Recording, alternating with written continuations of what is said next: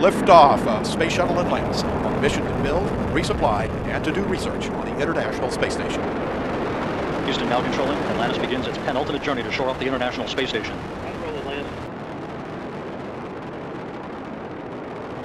30 seconds into the flight.